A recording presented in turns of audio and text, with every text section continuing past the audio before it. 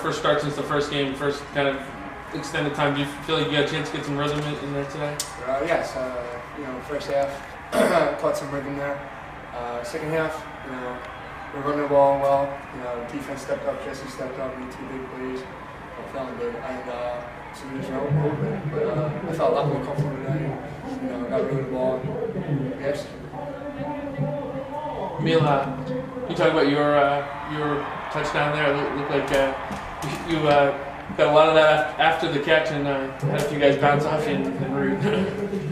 Um, just like uh, just like Jesse said, um, I always think to score no matter what. Um, every time I get the ball in my hands, I'm just trying to get can and uh, score. So um, that's what I had to do. Uh, I broke a tackle or two and um, I got in the end zone. Kevin, was that kind of the almost ultimate Emil day? You got the catches that he had, but you also had the big block to, to free Julian on on, uh, on his end around run. Is that kind of him doing all the things that you're hoping for him to do? Yeah, that he's on the, uh, you know, he's our guy who runs our punt team also, which was critical tonight again because they came after the punt pretty well. And uh, Emil runs that show and sets up the scheme and everything else. So great night for Emil. And uh, the punch right by the big catch and run. That was about a five yard throw and a 58 yard touchdown.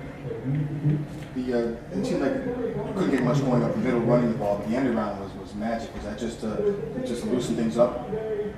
Oh, it's the big play, you know, looking for the big play right there. So you know, they were they were trying to get the extra guy in the gap on the inside. You know, the end around was a great call and, and they made a big play on it. They had about a 50, 60 yard run.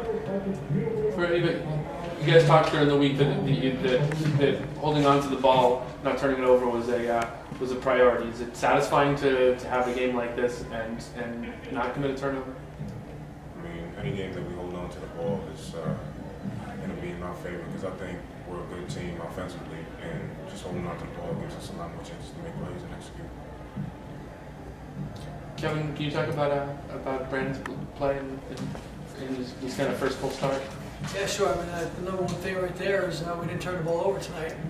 You know, turn the ball over against our schedule. You got a shot to win anyway, and we took that shot away from ourselves the last two weeks. So it's good to see that. And um, Brandon at the helm, making sure guys are getting the ball in the right spots and uh, keeping the ball in our favor. Got on a good roll, like he mentioned, the first half with some good tempo up and down the field, and, uh, and then we were able to close it out with the kick return and the interception on the scoreboard. But uh, know, very happy with Brandon's play and running the offense. How, ba- how bad did you guys need, need to win after, tough couple weeks?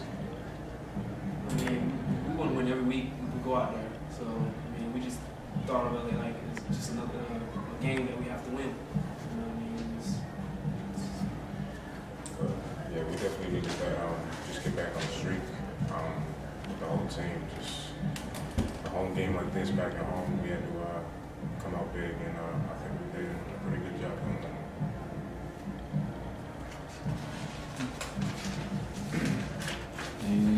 Anything else?